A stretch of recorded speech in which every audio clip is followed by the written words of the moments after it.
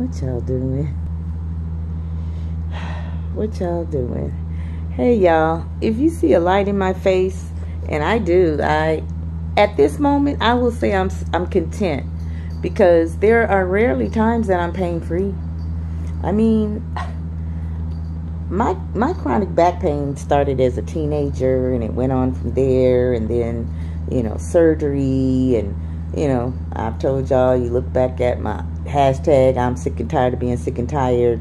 You know, I'm fucked up in the front and the back. Nevertheless, you know, I'm in the process of moving. I got to be out by Friday. I'm stressed the fuck out. I'm at a hotel in Sherman Oaks. I want to stay another night. I checked. They went up to $215 a night. I don't think so. I need help. I need help, y'all. Um, I need help.